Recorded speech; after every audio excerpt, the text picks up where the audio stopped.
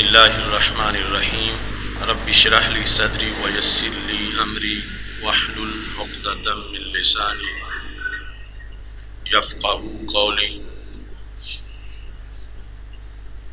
رضيت بالله ربا وبالإسلام دينا وبمحمد صلى الله عليه وسلم نبيا ورسولا الله أكبر الله أكبر الله أكبر لبيك لبيك لبيك يا رسول الله صلى الله عليه وسلم۔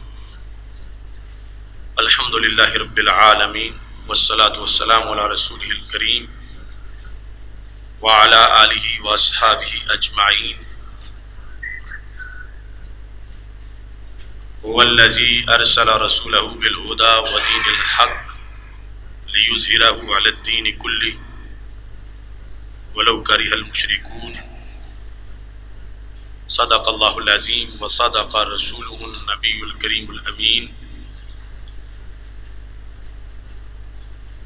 إن الله وملائكته يصلون على النبي.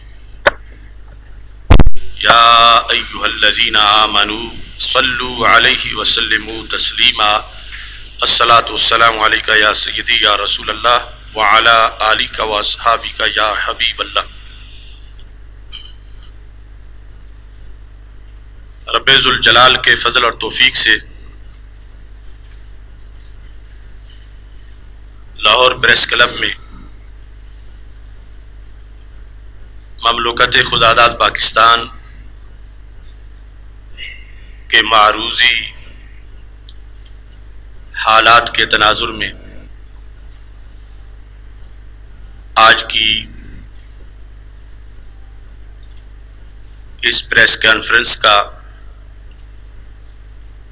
تحریک لبیک یا رسول اللہ صلی اللہ علیہ وسلم اور تحریک سرات مستقیم کی طرف سے انعقاد کیا جا رہا ہے۔ میرے ساتھ ہمارے تحریکی قائدین علامہ محمد عبد الرشید ویسی صاحب، پیر محمد امین اللہ نبیل سیالوی صاحب، علامہ فرمان علی حیدری صاحب، پیر سید توصیف شاہ صاحب، صاحبزادہ مرتضی علی ہاشمی صاحب، مفتی محمد اسحاق جلالی صاحب اور ہمارے دیگر ذمہ داران تشریف فرما ہیں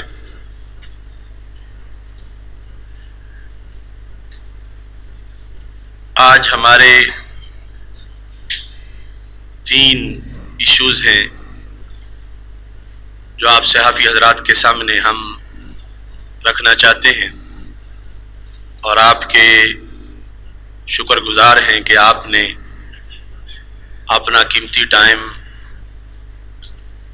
ہمیں عنایت کیا اور ہم توقع رکھیں گے کہ آپ اس اہم ملی ایشو پر ہماری آواز کو آگے پہنچانے کے لیے ہمارا ساتھ دیں گے۔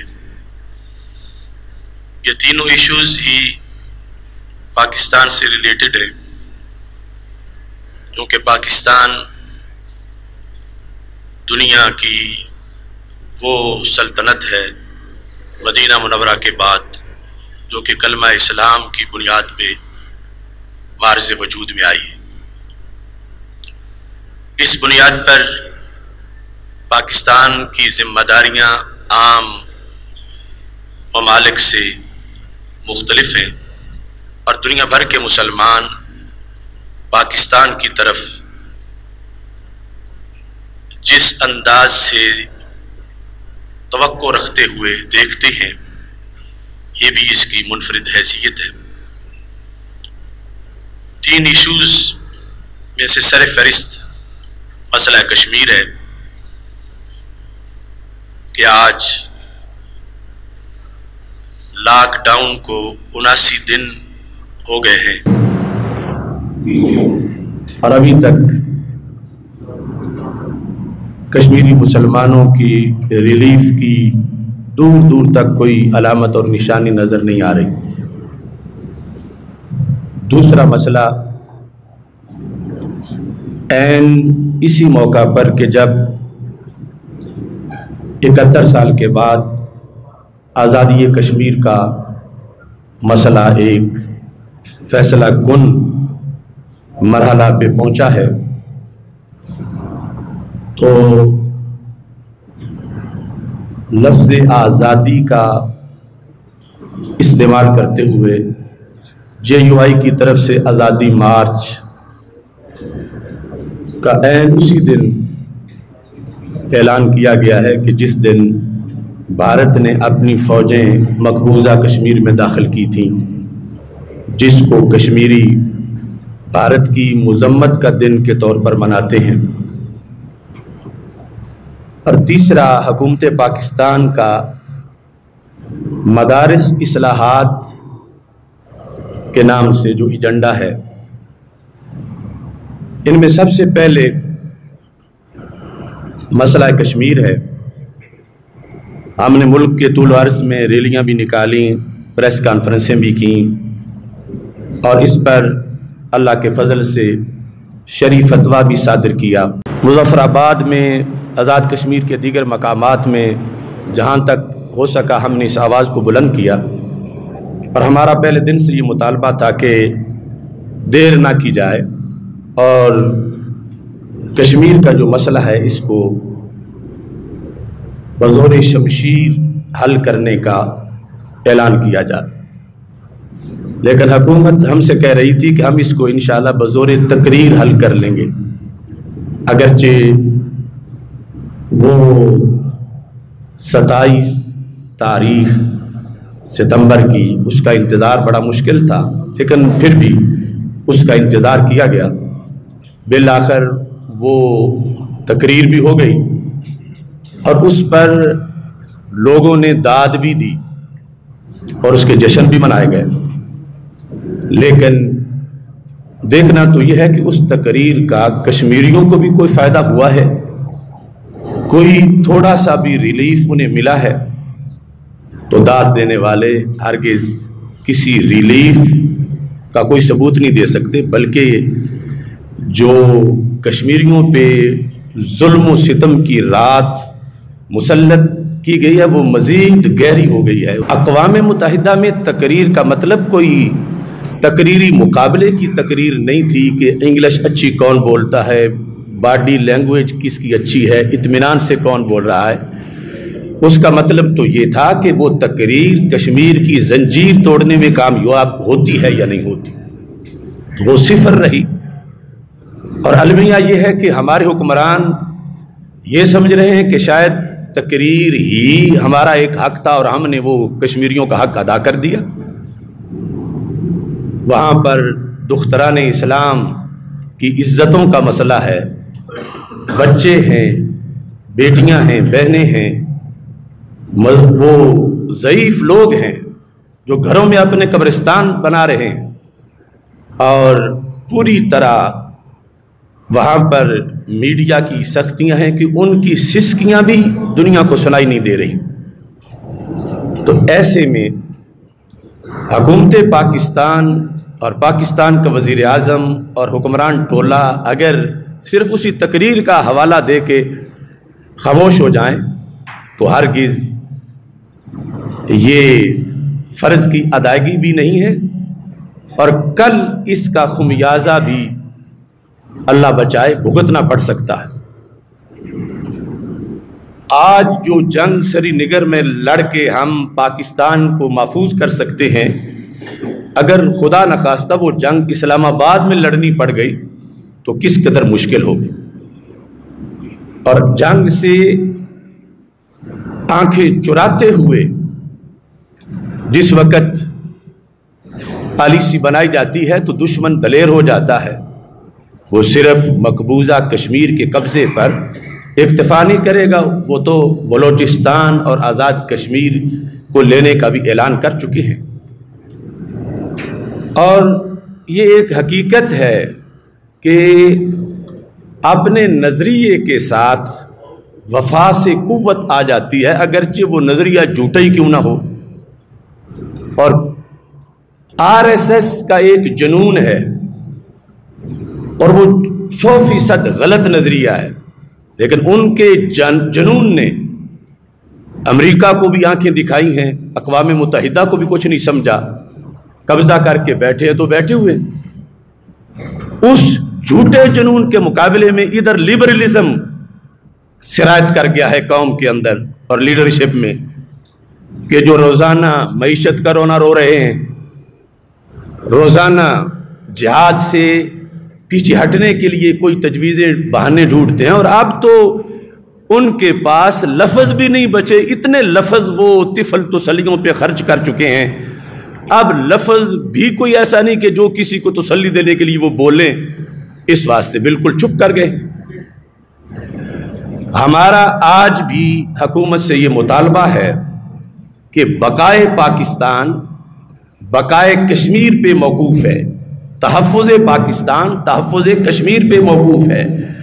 اگر پاکستان غزوہ ہند کا قلعہ ہے تو کشمیر اس کا مورچہ ہے۔ اگر واقعی پاکستان کی شاہ رگ ہے کشمیر تو اپنی شاہ رگ چھڑانے کی بھی جس میں طاقت نہ ہو، اسے پھر زندہ رہنے کا کیا حق سمجھا جائے گا اپنی شاہ رگ کو چھڑانے کے لیے یہ دائیں بائیں دیکھتے ہیں اور پھر بیان دیتے ہیں کہ عالمی برادری کشمیر سے نظریں چرا رہی ہے۔ تو اگر عالمی برادری نظریں چرا رہی ہے تو کیا تم نہیں نظریں چرا رہے؟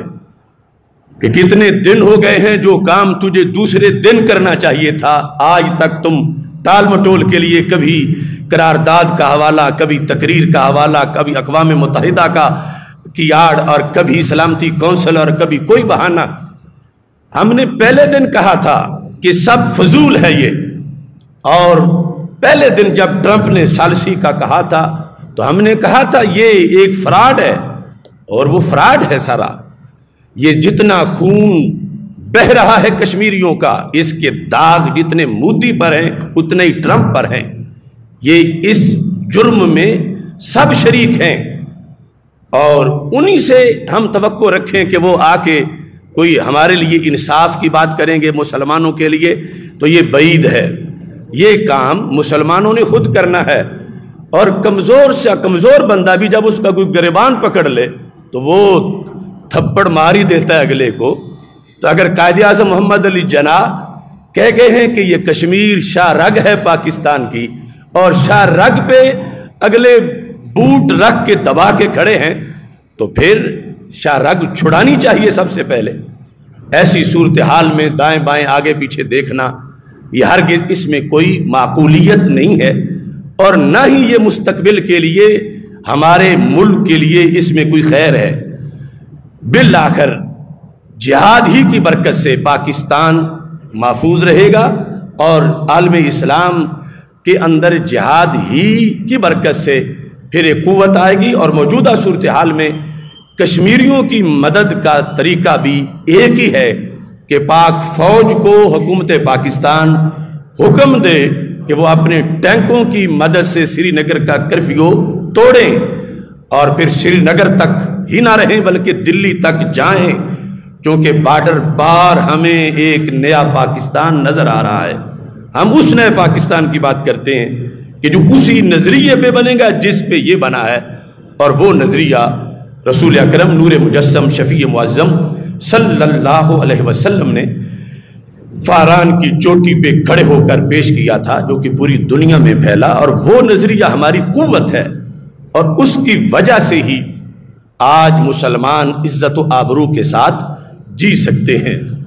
ادھر آر ایس ایس سیکولر پہ غالب آ گئی اور ادھر سیکولر مذہبی جذبات پہ چاہتا ہے کہ میں کنٹرول کروں اور ان کو دبا کے رکھوں تو ہرگز اس جنون کا جو کہ غلط جنون ہے، علاج صرف اس مذہبی قوت، ایمانی قوت اور نظریاتی قوت میں ہے کہ جو اللہ کے فضل سے صرف اور صرف ایک مسلمان کا حق ہے اور اس کا اللہ کی طرف سے دیا ہوا حصہ ہے۔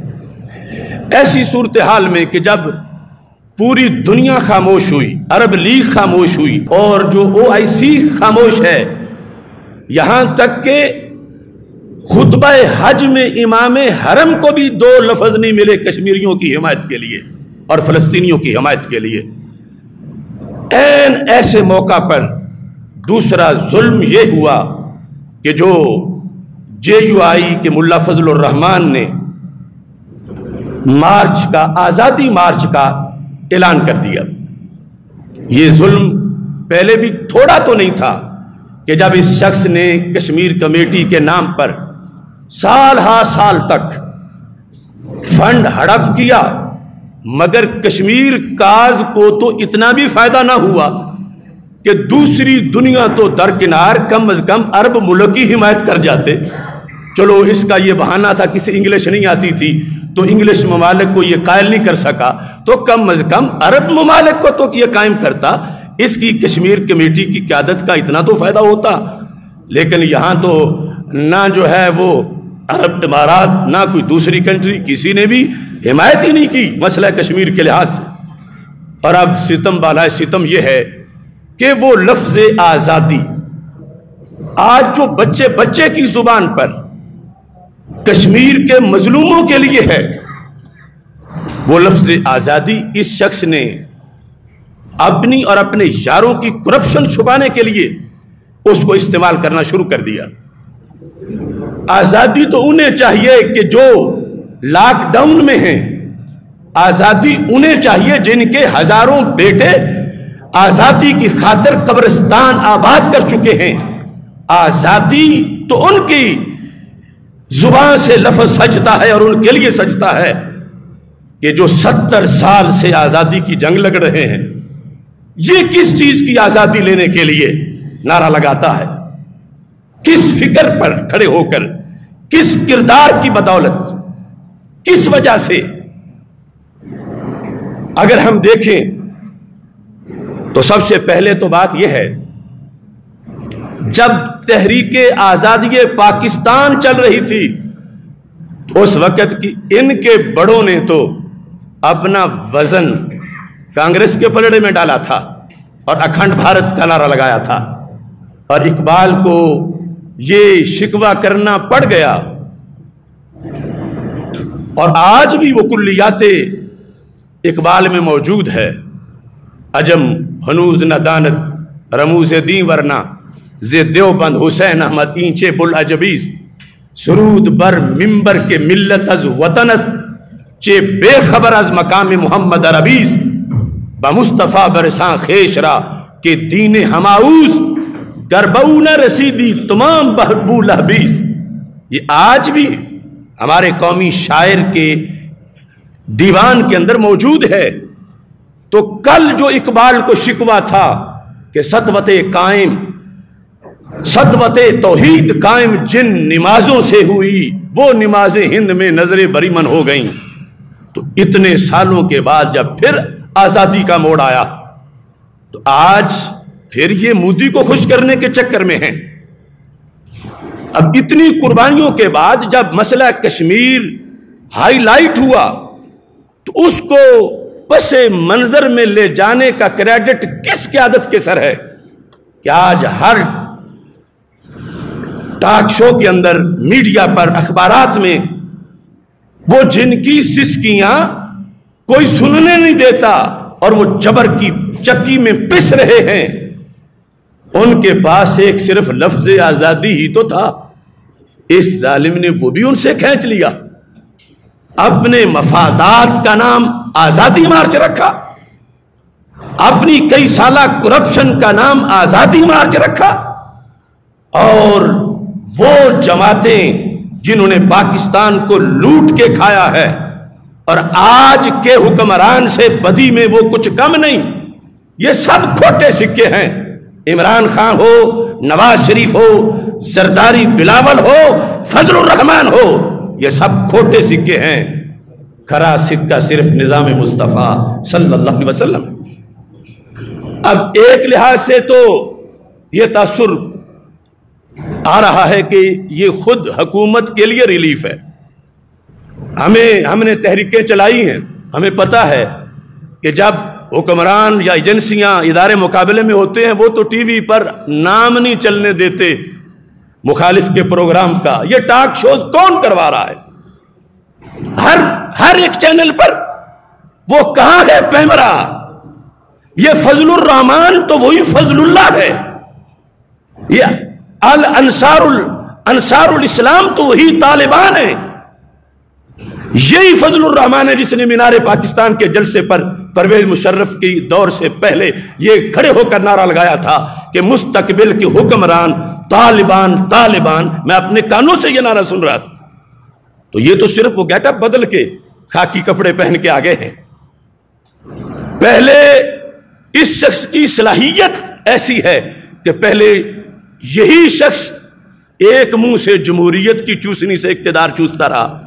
اب دوسرے طرف فضل اللہ کی حیثیت سے، نفاذ شریعت سے پھر مفادات چوسنا چاہتا ہے۔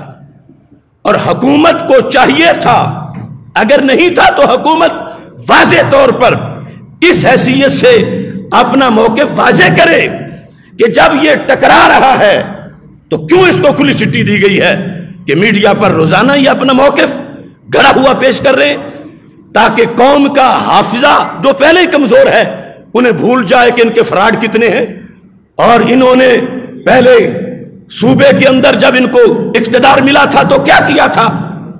یہی تو وہ ملا فضل الرحمان ہے کہ جس وقت نواز شریف ہولی کے جلسے میں کراچی میں کہہ رہا تھا کہ رحمان اور بھگوان میں کوئی فرق نہیں، تو اس وقت کیوں نہ ایمان جاگا اس ملا کا؟ جو کہتا کہ تم کفر کر رہے ہو کہ رحمان اور بھگوان میں فرق کے لیے تو پاکستان بنایا گیا۔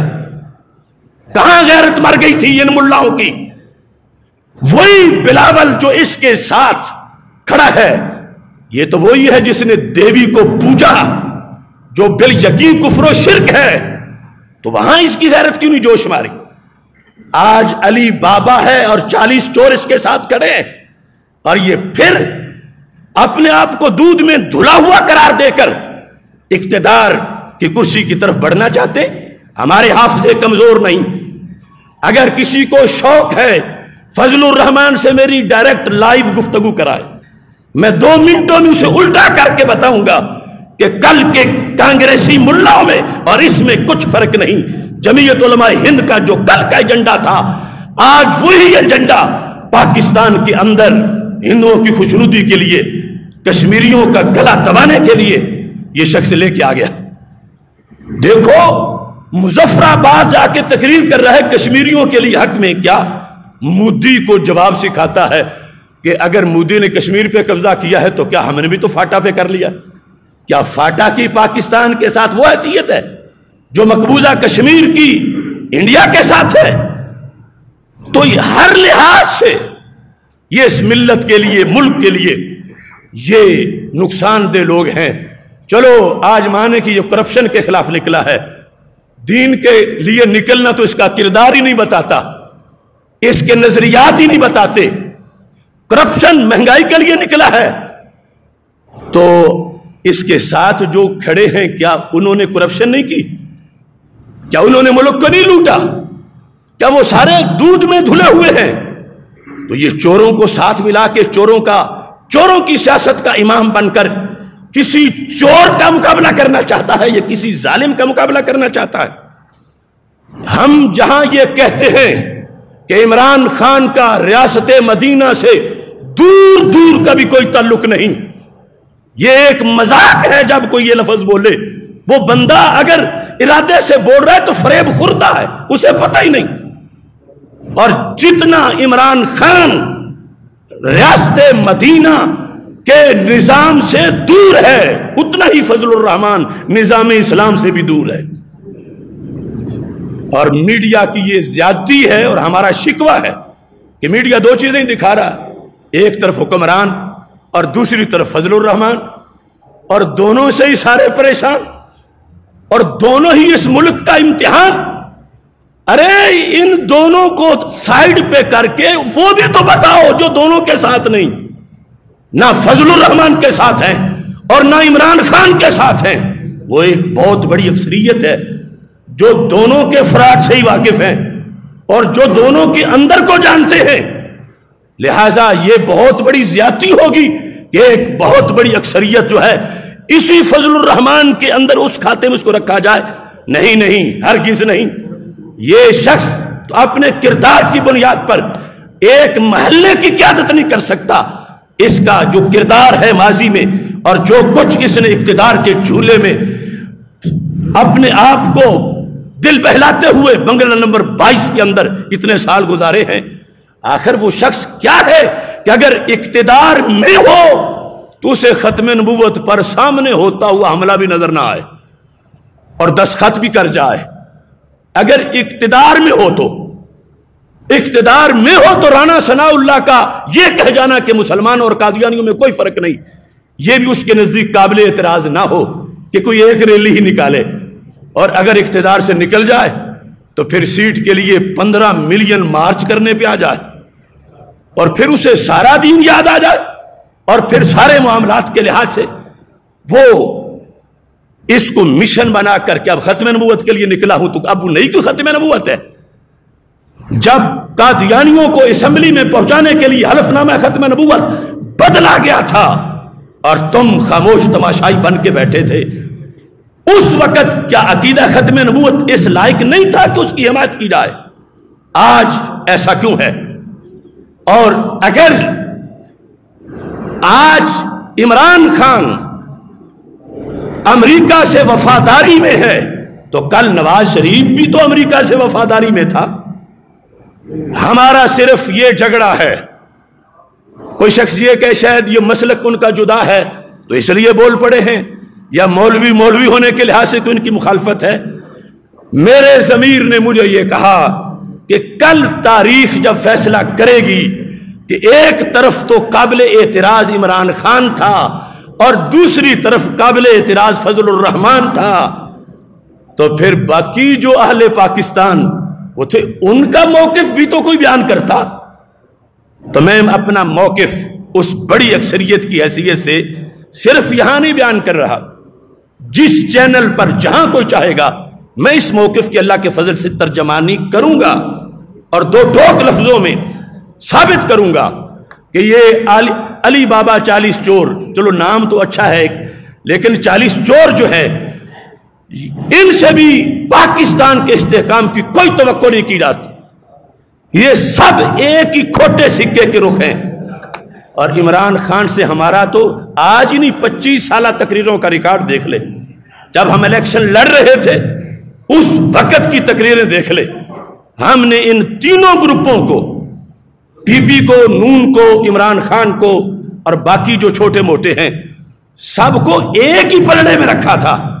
اور اس وقت جن لوگوں کو بڑے سہانے خواب آ رہے تھے، ہم نے اس وقت انہیں جگانے کی کوشش کی تھی کہ مت خواب دیکھو، یہ عذاب بن جائے گا تمہارے لیے۔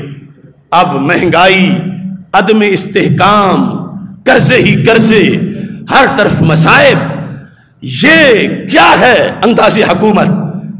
کیا تماشا ہے کہ جس کے ہاتھ میں میزان ہے، وہ منافع گن رہا ہے، تولتا کچھ بھی نہیں۔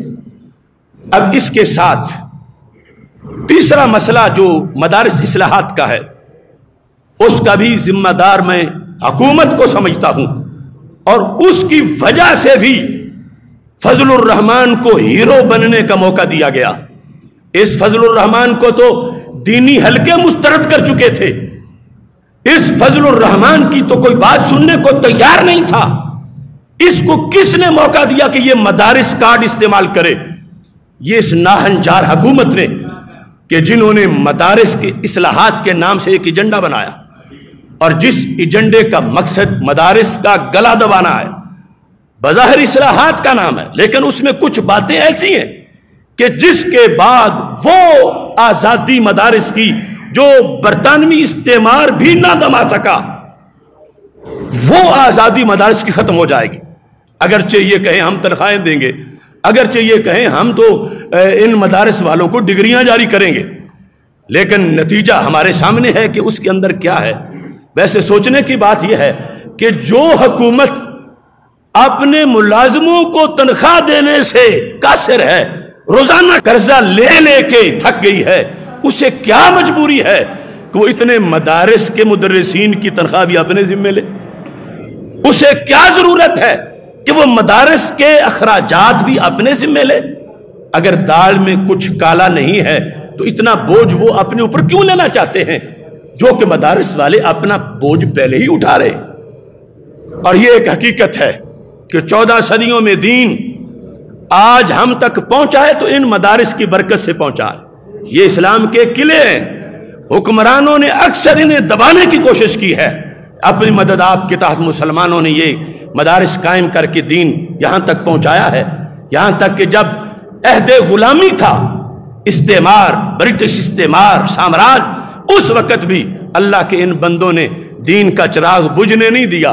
درختوں کے نیچے بیٹھ گئے، بلڈنگوں پہ قبضے ہوئے، تو پھر بھی انہوں نے درس و تدریس کا سلسلہ جاری رکھا۔ اور آج یہ بات بڑی قابل غور ہے۔ ہمیں کہتے ہیں کہ تم وہ آئنسٹائن اور نیوٹن جیسے سائنسدان بھی تیار کرو۔ تو میں کہتا ہوں وہ اربوں روپے کا بجٹ جو ان یونیورسٹیوں پہ لگا رہے ہو، تو وہ کیا صرف خام بابو تیار کرنے کے لیے ہے؟ ہاں اس میں کوئی شک نہیں کہ ہمارے مدارس نے بڑے بڑے سائنسدان بھی پیدا کیے۔ لیکن اس وقت کہ جب ہزاروں امام پیدا کیے تھے، ساتھ چند سائنسدان بھی پیدا کر دیے۔ اور آج پہلے ہی سٹوڈنٹ جو ہے ان کا تناسب دیکھو۔ تو یونیورسٹیوں، کالجوں کے سٹوڈنٹس کی تعداد کیا ہے اور مدارس کے طلباء کی تعداد کیا ہے؟ تو یہ تو پہلے ہی بمشکل دس پندرہ فیصد ہیں۔ اور پھر ان کا جو نصاب ہے، وہ بڑا وزنی نصاب ہے۔ اگر یہ لوگ پڑھیں تو انہیں پتہ لگ جائے۔ کہ مدارس کے نصاب کو پڑھنا کیا ہوتا ہے؟ یہ چاہتے ہیں کہ وہ نصاب بھی بدل دو اور اس میں دوسرا کوئی نصاب لے لے آؤ اور تاکہ یہ کمزور برائلر قسم کے علماء تیار ہوں کہ جو اصل دین تک جن کی اپروچ ہی نہ ہو اور پھر نہ فتوا دے سکیں، نہ بول سکیں۔ تو ہم یہ کہتے ہیں کہ آج تک پاکستان میں ایک موقع بھی ایسا نہیں آیا کہ جس میں مدارس نے قوم کی ضرورت کو پورا نہ کیا ہو اور وقت آنے پر کہا ہو کہ پاکستان کے علماء تو مسئلہ حل نہیں کر سکے، لہذا اس مسئلے کے حل سے لیے بیرون ملک سے علماء آ رہے ہیں۔ آج تک ایک بار بھی ایسا نہیں ہوا۔ لیکن یہ تو روزانہ ہوتا ہے کہ اب پاکستان کے ماہرین یہ مسئلہ حل نہیں کر پائے، جن کی تیاری میں اربوں روپے خرچ ہوتے ہیں، سب ٹھوس ہو گئے ہیں۔ اب ماہرین امریکہ سے آئیں گے۔ اب ٹیمیں برطانیہ سے آئیں گی۔ تو مدارس والے، انہوں نے بجٹ نہ لے کے بھی قوم کو خود کفیل کیا شری رہنمائی میں۔ لیکن دوسری طرف تو جب بھی مشکل وقت آیا، پھر ماہرین بیرون ملک سے بلانے پڑے اور اس طرح پھر جا کے کام چلا۔ اور یہ بات کہ جہاں تک جتنی ضرورت ہے عصری تعلیم کی، وہ ہم بھی سمجھتے ہیں کہ جس دنیا میں ہم رہتے ہیں، مسئلے کا جواب دینے کے لیے مسئلے کو سمجھنا ضروری ہے۔ تو مسئلے کو سمجھنے کے لحاظ سے حالات سے باخبر ہونا ضروری ہے۔ اور اتنی انگلش لینگویج اور عصری علوم کے جس سے بندہ اپنے ماحول سے ریلیٹڈ رہے اور باخبر رہے، وہ تو ہم نے پہلے نصاب میں شامل کی ہوئی ہے۔ لیکن ان کا کہنا یہ ہے کہ ایک سٹوڈنٹ اگر ٹیکسٹائل کا ہو، تو اس سٹوڈنٹ کو ساتھ میڈیکل کی بھی دو کلاسیں پڑھائی جائیں۔ تو یہ حماقت نہیں، تو اور کیا ہے؟ ٹیکسٹائل کے سپیشلسٹ کے لیے میڈیکل کا پیریڈ کیوں ضروری ہے اور میڈیکل کے سپیشلسٹ کے لیے ٹیکسٹائل کا پیریڈ کیوں ضروری ہے؟ تو جس حد تک عصری علوم کی ضرورت ہے، اللہ کے فضل سے وہ ہے ہمارے نصاب میں۔ لیکن یہ کہ انہیں قرآن اور سنت تک ہی رسائی نہ ہو اور یہ فضول باتوں میں پڑے رہیں، جس کے لیے سپیشل شعبے موجود ہیں، تو ہمیں اس طرح کی کسی تبدیل تبدیلی اور تجویز سے اتفاق نہیں ہے۔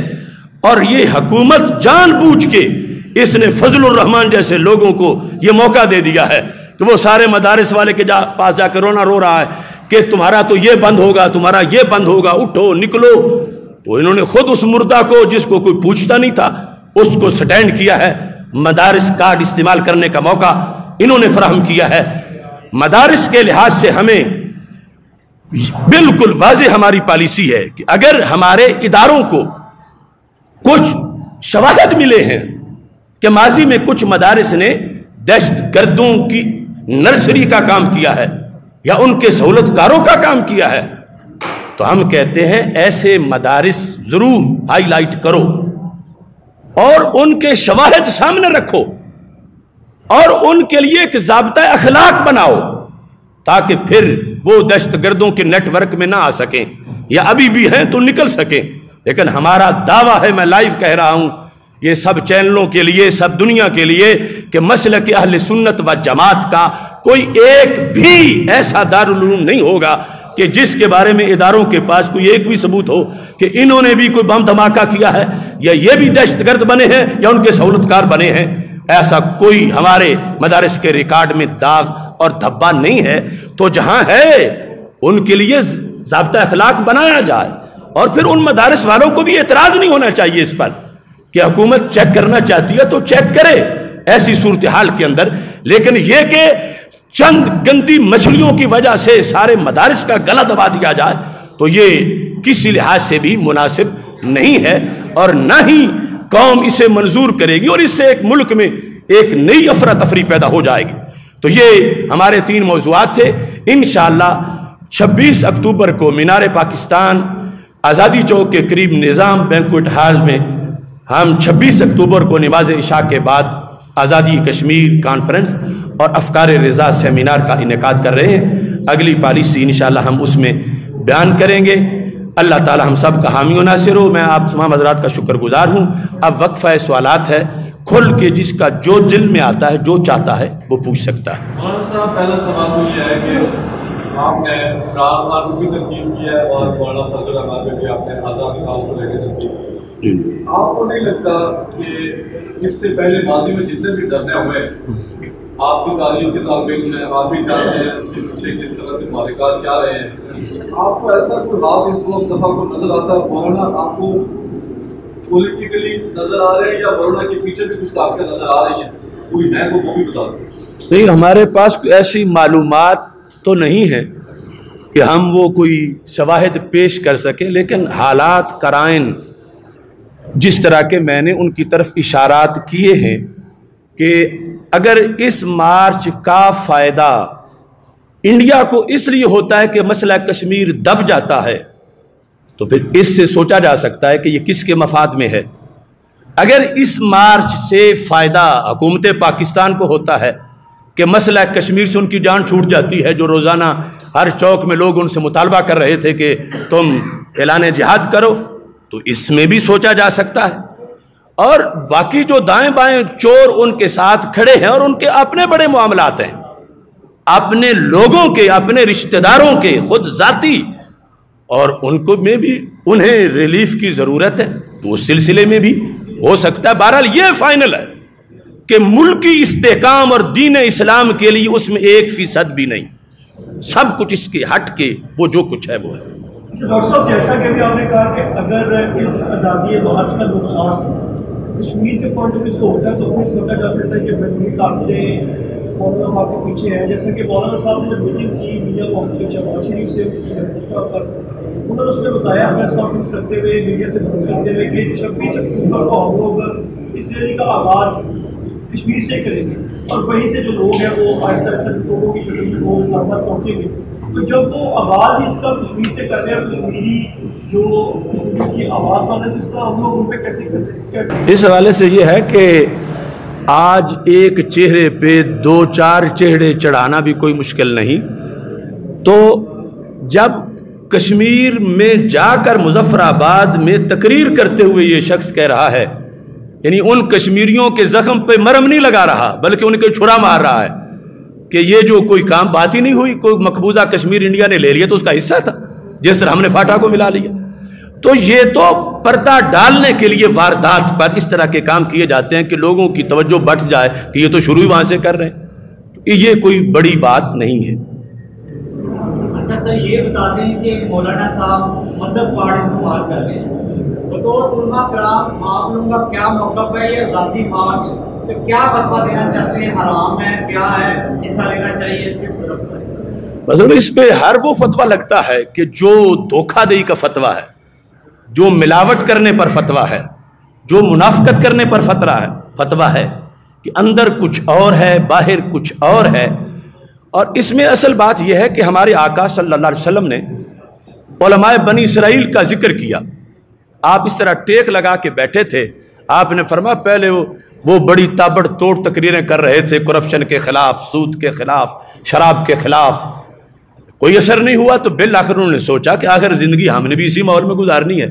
ہر کسی سے لڑائی، لڑ کے ہم کیسے رہیں گے زندہ؟ تو سرکار فرماتے ہیں، انہوں نے تھوڑی سی لچک دکھائی کہ ہم ان کا موقف نہیں مانیں گے، لیکن ان کے ساتھ کچھ بیٹھیں گے سٹنگ کریں گے گیٹ ٹو گیٹ ٹوگیدر ہوگا اور اس کا نام یہی رکھیں گے، ہم ان کو تبلیغ کر رہے ہیں کہ صحیح ہو جائیں گے۔ سرکار فرماتے ہیں فجا لسو ہم و ہم و شاربو ہم انہوں نے کٹھے بیٹھ کے پھر دعوتیں کھائیں۔ درب اللہ قلوب بعدہم ببادن رب نے ان کے آپس میں پھر دلی ملا دیے۔ کہ وہ تقریریں جو کبھی یہ بلاول کے خلاف کرتے تھے، وہ تقریریں بھول گئیں۔ اور وہ تقریریں جو کبھی یہ مسلم لیگ نون کے خلاف کرتے تھے، وہ تقریریں بھول گئیں۔ فدرب اللہ قلوب بعدہم ببعد۔ آپس میں رب نے ان کے دل ملا دیے اور انہیں کچھ بھی برا محسوس ہی نہیں ہو رہا تھا۔ جیسے جو عمران خان کے ساتھ مل گئے اور جو دوسری طرف مل گئے۔ اللہ سرکار فرماتے ہیں، رب نے ان اس مجموعے پر لانت کی۔ تو آپ نے ٹیک چھوڑی اور فرمایا، مجھے اس ذات کی قسم، جس کے قبضہ قدرت میں میری جان ہے، لَتَأْمُرُنَّ بِالْمَعْرُوفِ وَلَتَنْحَوُنَّ عَنِ الْمُنْكَرِ کہ میری امت تم تو ایسا نہیں نہ کرو گے۔ وہ تو بنی اسرائیل تھی، وہ آخری امت نہیں تھی۔ تم تو دھیان رکھو گے نا کہ معاشرے کے ایسے ناسوروں کے ساتھ تم نہیں ملو گے۔ اور ولا تخن اللہ یادا یہ ظالم تم تو آگے بڑھ کے ظالم کے دونوں ہاتھ پکڑ لو گے۔ اس کے کسی لحاظ سے بھی اتحادی نہیں بنو گے۔ اور اگر تم نے بھی وہی کیا فرما تم پہ بھی اللہ ویسے لانت کرے گا۔ جیسے رب نے بنی اسرائیل پہ لانت کی۔ میں یہ حدیث پڑھ کے جب دیکھتا ہوں حالات حاضرہ کو اور پھر اس قسم کے دین پر حملہ کرنے والے ٹولے جو اس ملک میں تھے اور ان کا یہ پھر امام میں دیکھتا ہوں کہ جو ایک مذہبی روپ میں ہے تو میں اس کی جو قابلیت ہے اس سے حیران ہوتا ہوں کہ کیسا شخص ہے کہ اپنے جلسے میں ہزاروں دستاریں اور داڑیاں دکھا کے مذہبی لوگوں کو بھی مطمئن کر لیتا ہے اور ادھر اپنے ہی جلسے میں سلیب اوپر لہرا کر امریکہ اور مغرب کو بھی خوش کر لیتا ہے۔ عجیب اس کی، عجیب اس کے اندر پالیسی ہے۔ تو ایسی صورتحال برداشت نہیں اسلام میں، یہ ہم پہ حق ہے مذہبی کہ ہم لوگوں کو مطلع کریں کہ مذہب کا لبادہ ہو یا کوئی اور کسی خدمت کا لبادہ ہو تو دیکھا تو جائے کہ ظاہر کیا ہے اور باطن کیا ہے۔ اور کوئی سوال کسی کا ہو تو۔ بہت شکریہ، آپ نے بہت ٹائم دیا۔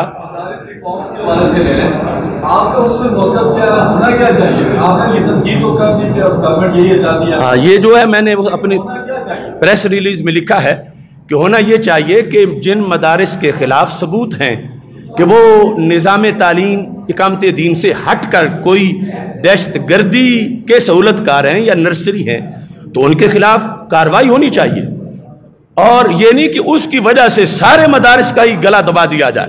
اور ان کو بھی پھر کام کرنے کی اجازت ہونی چاہیے، لیکن ان کے لیے ضابطہ اخلاق بنا دیا جائے کہ آئندہ آپ ایسا نہ کریں۔ اور اس کے ساتھ جو ہے وہ چیک اینڈ بیلنس، اس کے لیے مدارس والے جو ہیں، ان کو بھی اپنے دروازے کھلے رکھنے چاہیے۔ کہ اگر حکومت کو کوئی شبہ ہوتا ہے اداروں کو، تو وہ جب چاہیں چیک کر لیں اور اس طرح کی صورتحال جو ہے وہ گمبھیر آگے نہ بنے۔ اور اس کے علاوہ مزید یعنی نصاب کے لحاظ سے بھی گفتگو ہو سکتی ہے کہ کیا ایک عالم دین کی ضرورت ہے دینی رہنمائی کرنے کے لحاظ سے، اس کو کتنا پڑا ہوا ہونا چاہیے اسری روم کے لحاظ سے۔ اس پر بھی یعنی آپس میں گفتگو ہو سکتی ہے، کوئی اتنا بڑا مسئلہ نہیں ہے۔ لیکن یہ کہ بیک جنبش قلم سارا نصاب کھوکھلا کر دیا جائے۔ اور جنہوں نے بڑھنا دین ہے، بننا اسپیشلسٹ قرآن و سنت کا ہے، ان سے ڈیمانڈ یہ ہے کہ ان سے کوئی سائنسدان بنایا جائے۔ تو وہ اتنا خرچہ پہلے ہی ہو رہا ہے۔ اور وہ اتنی قوم کی ڈیمانڈ پوری کرنے کے لیے پہلے ہی اتنا کچھ ہو رہا ہے۔ یہ تو تھوڑا سا ہے، جو پہلے ہی تھوڑا ہے دین کے لحاظ سے۔ تو اس کو تو اپنا کام کھلے انداز میں کرنے کی اجازت ہونی چاہیے۔ اللہ تعالیٰ آپ کو اجر عظیم عطا فرمائے۔